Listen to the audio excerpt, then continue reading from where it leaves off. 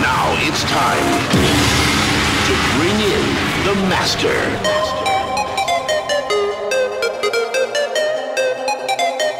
Round one.